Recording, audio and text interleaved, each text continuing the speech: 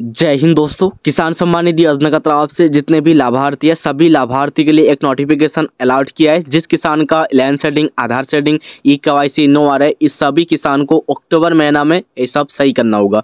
नहीं तो किसान सम्मान निधि योजना की तरफ़ से जो पंद्रह नंबर का इंस्टॉलमेंट है, पंद्रह नंबर का इंस्टॉलमेंट तो नहीं मिलेगा, लेकिन उससे भी और भी आपको बड़ा प्रॉब्लम हो सकता है कि किसान सम्मान निधि योजना की तरफ़ से आपका नाम हट जाएगा, और भी आपको पैसा नहीं मिलेगा।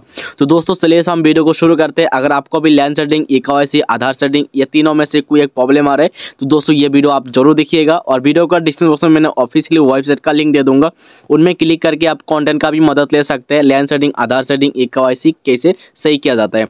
सबसे पहले हम बात करेंगे जिस किसान का लैंड सेटिंग नो आ रहा है, उस सारे किसान को लैंड सेटिंग को यस कैसे किया जाता है। दोस्तों लैंड सेटिंग को यस करने के लिए सबसे पहले आपका जो ज़मीन है, यानी कि जमाबंदी है, जमाबंदी का जो रिकॉर्ड है, ये आपको एग्रीकल्चर में वेरिफिकेशन करना होगा। लैंड सेटिंग का प्रोसेस आप लोग ऑनलाइन नहीं कर सकते इसके लिए आपको एग्रीकल्चर कार्सी विभाग में जाके वेरिफिकेशन करना होगा। उसके बाद आता है जिस किसान का ई के नो आ रहा है।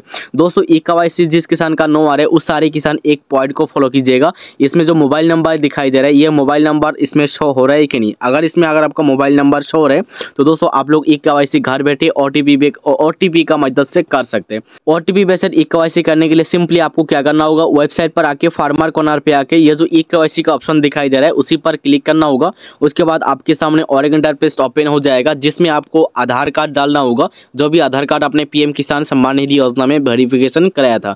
आधार नंबर डाल के आपको चार्ज करना होगा, उसके बाद आधार ओटीपी मिलेगा, उसके बाद आपको मोबाइल नंबर उसके बाद ओटीपी डाल के आपको सबमिट करके ओ टी पी आप सभी को ई के करना होगा। अभी हम बात करते हैं जिस किसान का आधार सेटिंग नो बता रहे हैं, उस सारे किसान को आधार सेटिंग को सही कैसे किया जाता है।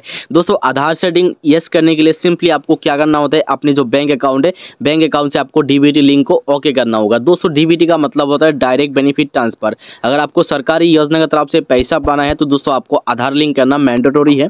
तो दोस्तों, आधार लिंक तब भी आपको सही होगा। जब तक आपका लैंड सेटिंग ई नहीं होगा, तब तक आपका आधार सेटिंग नहीं होगा। दोस्तों, सबसे पहले आपको लैंड सेटिंग ई और इसमें मोबाइल नंबर को आप वेरीफाई कीजिएगा। उसके बाद ही इसमें आपको जो आधार सेटिंग है, आधार सेटिंग के लिए आपने जो आधार कार्ड पीएम किसान सम्मान निधि योजना में वेरीफिकेशन कराया था, उसी आधार कार्ड में आपको क्या करना होगा?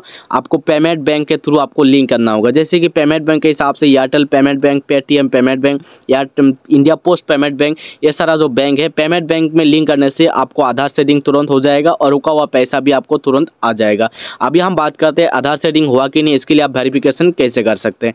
दोस्तों, आधार सेटिंग हुआ कि नहीं, इसके लिए वेरिफिकेशन करने के लिए सिंपली आपको इसी तरह एक पेज मिलेगा जिसमें आपको बैंक नेम दिखाई देगा और आधार सेटिंग इसमें एक्टिव लिखा होगा। तो दोस्तों, आप लोग आधार सेटिंग को इस तरह कैसे से कर सकते हैं, उसी टॉपिक का ऊपर मैंने ऑलरेडी वीडियो बना दिया है। उसी वीडियो का लिंक मैंने आई बटन पर दे दूँगा, आप लोग देख लीजिएगा। और वीडियो का डिस्क्रिप्शन बॉक्स में मैंने ऑफिशियली वेबसाइट का लिंक दूँगा, उसके मदद से भी आप सारे काम कर सकते हैं। देखिए, मनोज कुमार कुछ करके एक सब्सक्राइबर है, जिनने मुझे आठ घंटा का पहले मैसेज किया है। उनका कहना है कि आधार बैंक सेटिंग तरह स्नो आ रहा है। तो दोस्तों जिस किसान का आधार सेटिंग ना आ रहा है, उस सारे किसान को तो मैंने सोल्यूशन बता दिया है। तो दोस्तों, अगर आपका किसान सम्मान निधि योजना की तरफ़ से कोई भी प्रॉब्लम आ रही है तो दोस्तों, आप लोग मुझे कॉमेंट कीजिएगा। हम उसी टॉपिक का ऊपर वीडियो बनाने के लिए कोशिश करेंगे। जय हिंद, जय भारत।